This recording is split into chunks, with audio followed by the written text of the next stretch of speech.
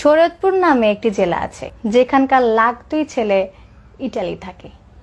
সেই এলাকার কোনো এক মেয়ের বিয়ের প্রস্তাব যদি ইটালির ছেলের সাথে হয়, খুশিতে সবার চেহারা চকচক করে। ছেলে বুড়া, ধুরা, বিবাহিত, দুই পোলার বাপ হইলেও সমস্যা নাই। তবে এই মানুষগুলো খুব সাধারণ। আরেকটা চকচকে চেহারা আপনারা দেখবেন, যারা অসাধারণ। মেয়ের বিয়ে ঠিক হয়েছে। তা কোথায় হলো? ছেলে কি করে?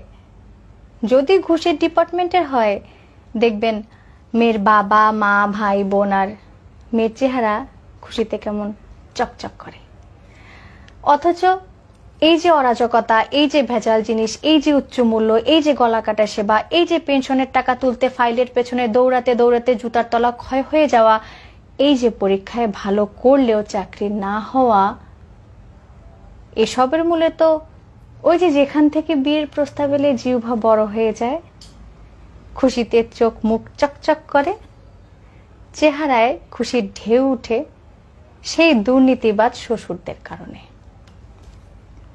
বিখ্যাত এক অর্থনীতিবিদ বলেছিলেন, শুয়োরের বাচ্চাদের অর্থনীতি। এই শুয়োরের বাচ্চারা আসলে কারা? এই লেখা পড়ে বা এই কথাগুলো শুনে যাদের চেহারায় চপেটাঘাত পড়বে ছাই হয়ে যাবে তারা।